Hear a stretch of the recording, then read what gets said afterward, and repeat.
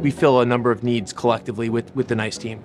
It's a nine-year-old relationship that we're as stated we're taking it to the other uh, level of the game. We're working on going from a base partnership to a strategic partnership. We're working on making sure our CX Exchange uh, profile is, is, up to speed, working on a, on a 65-step program to, to take that leap from base to strategic. It's been a really a wonderful process. I mean, it's been managed very well by the NICE team. We're at the tail end of, of, of a long road, but uh, we think it's going to be a, a very beneficial road for both both organizations. We know there's a need out there.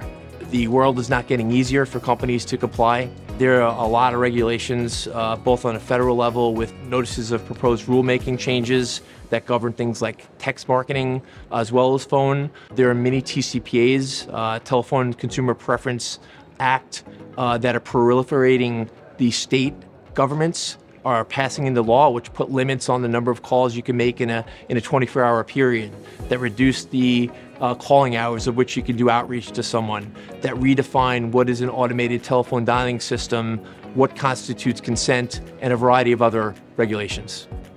Anyone that has a need to comply with the rules and regulations out there, I think NICE recognizes, and, and you know, based on our long-standing relationship, you know, we are the experts. We've been doing this a long time.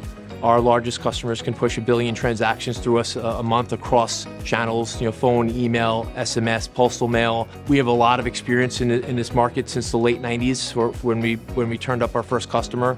Uh, we bring an expertise uh, that I think is unparalleled in, in, the marketplace. We know the rules. We allow customers, NICE customers specifically, to focus on what their business is, right? And we, we assume the responsibility for what are the regulations that you need to comply with uh, what are the updates to the rules as they happen proactively, and they do happen on a pretty regular basis.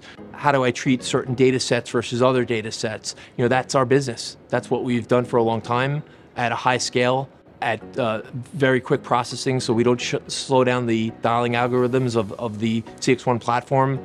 Uh, it's highly re reliable and accurate, and we have to be because of you know how we're integrated with the calling operations uh, for, for NICE customers. Thank you.